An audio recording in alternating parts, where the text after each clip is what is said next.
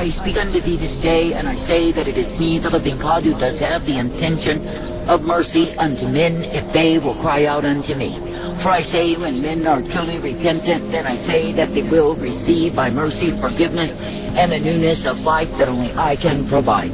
But I say, when men will go on in pride and denial, in thinking they do not need to have me nor repentance before me, they are fools. And I say, instead of my mercy, they receive my wrath. Now I say you are living in a time when men have fully abandoned themselves to pride, to the scourge of pride, the darkness of pride. And I say the cause of that pride they hold by way in contempt. That is, they no longer respect nor honor me, but I say they dishonor me by their disobedience day after day. For I say they choose to go whoring, they choose to estrange themselves and separate from me. And I say they choose to believe in themselves and the lies of pride rather than me. Now I say this day that I, living God, have declared my intention of war. I have taken my action and will increase the same. For I say, when I am so disgusted with men and they stubbornly, proudly refuse to repent, where do they end? I say they will end in a heap, they will end in devastation, because their hearts are hard towards me. And I say they have taken away that I never intended, nor did I provide. Now I say this day, let it be me that you will look unto. Let it be me that you will believe, obey, and follow after. And let it be me who will prove to be the life, the source, the strength, the safety unto my own. For I say it is me, the living God, who does uplift, direct, and guide you day after day. And it is me, the living God, who will give unto you the truth, the light, and the mercy revealed. Therefore I say, be made glad even now that I am the one who will be ever present to guide you forth. And I say, when you will keep clear in your focus upon me, then yes, you are guided forth by me. And you are directed, corrected, and given the truth and the light, the strength, the purpose that I provide. And I say, you are given my mercy each day, for I am present to give unto you the same. Now I say this day that I live in God to see how men choose and choose and choose to destroy themselves. And I say they are fools who have abandoned the way of life to take up the way of death. And they are driven by the very demon forces that want to see them in hell.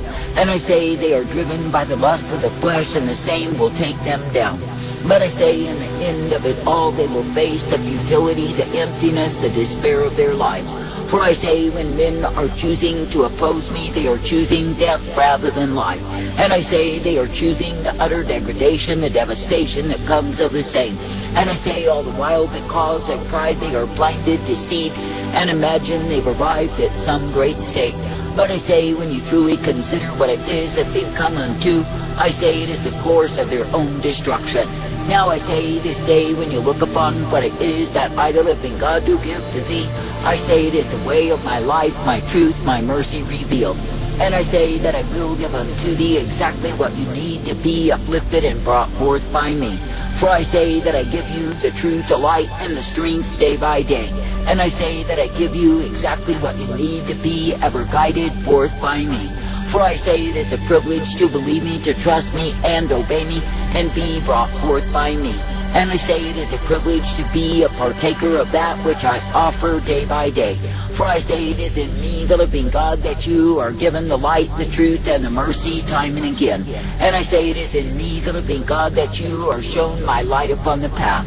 For I say it is me, the living God, who delights when a people will trust themselves unto me rather than circumstance. And I say that I search the earth for the ones who will truly believe again in me.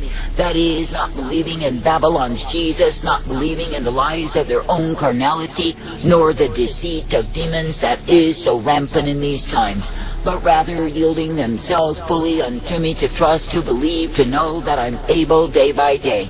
Now I say there are many, they grow angry with me, they stop following me, because they find they cannot dictate unto me. That is, they assert their desire, they assert what they require, and when I do not give them the same, then I say they grow angry at me. And I say they assume they are justified in their anger, their unbelief, their disgust for my way.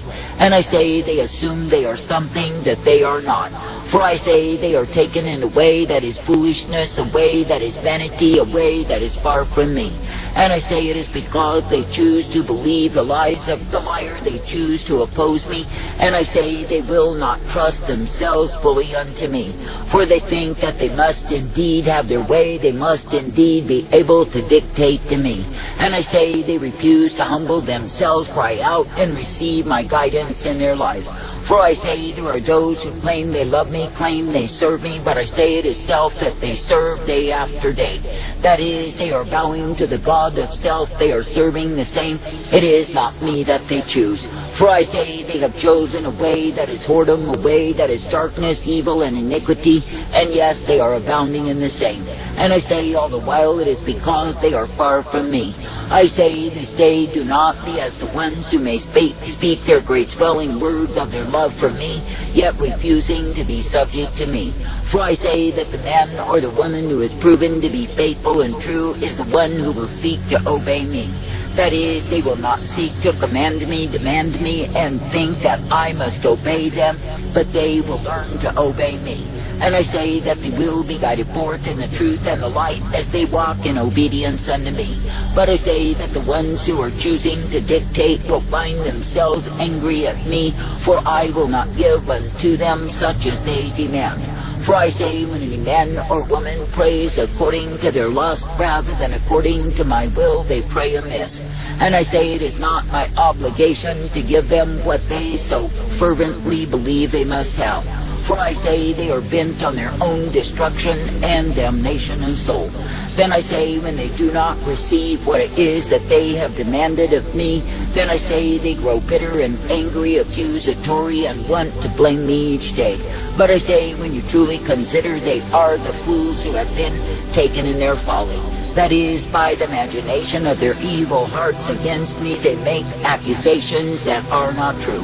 And I say, because they command and demand to get their way, and they do not get the same from me, I say they go into a literal fit of despair.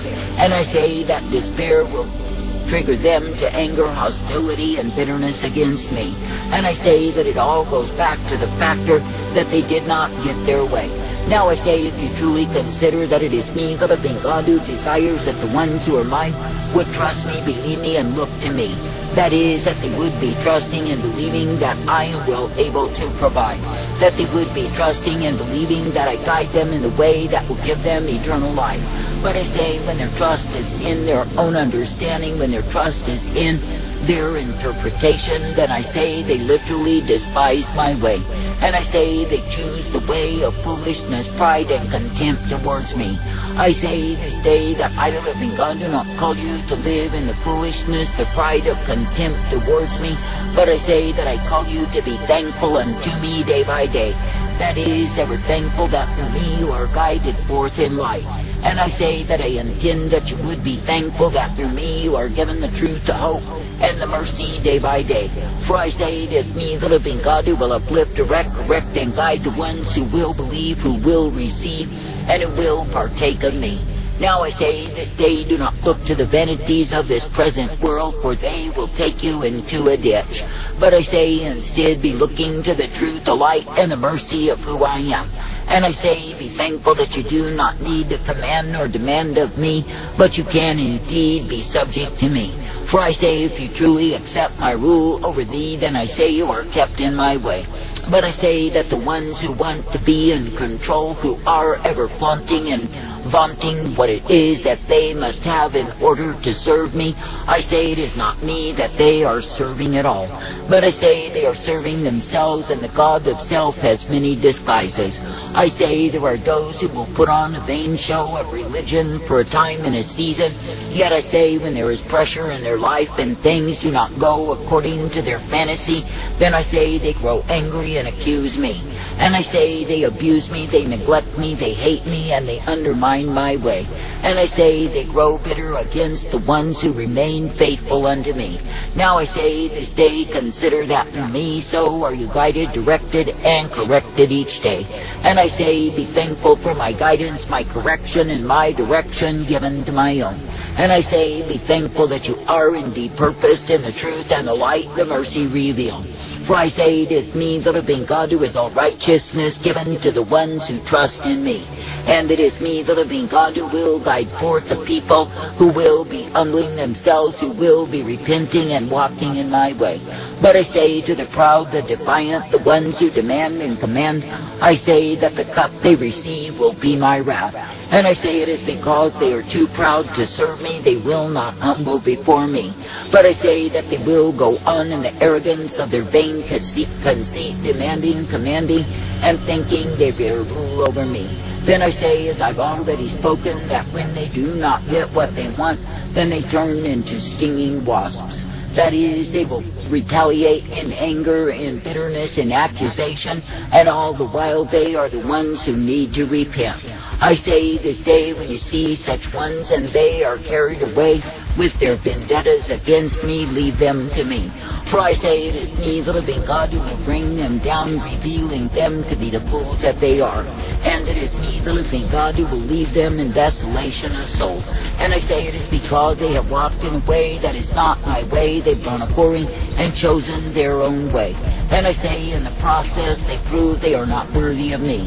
Now I say this day, be thankful that you can indeed be continuing to humble yourself, to be subject to me, to be guided in life. That you do not need to be as those who are found in heaps of ruination because they had to have their way. For I say the very way they think I must give unto them will utterly destroy their souls. So I say in the anger they ventilate because they do not get that way from me, they set out to make their own way. And I say they are fools, you will see them as they end in heaps, as they end in desolation of soul, as they end in despair. But know of a surety it is they themselves who have put themselves there. That is, they have chosen a way that I did not intend for them. But I say again, they wanted their way. And I say when their way will cause them to be my enemy instead of my friend, they will still have to have that way. Now I say such ones as these are not loving me, but I say they are loving themselves. And I say they go on and on and on in their demands, their commands, all to their own destruction. I say this day do not demand or command me, but I say seek to please me, be subject unto me, and be guided forth in me day after day. I say be thankful to be serving me. All of ACMTC's publications are free and post-paid, so you have no excuse except unwillingness or fear of knowing the truth. Do not write or email ACMTC to obtain the wisdom, counsel of Jesus Christ right in your own hands to read and pass out to others desperate need of repentance and a warning of God's immediate impending wrath and judgments upon sinners worldwide. We also have free DVDs of these earlier presentations of rare and censored, censored by Apostate Christianity, that is, truth, and all Bible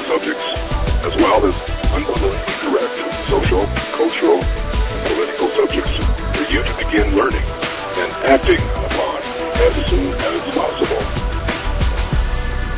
Repent for eternal life. Repent for eternal life.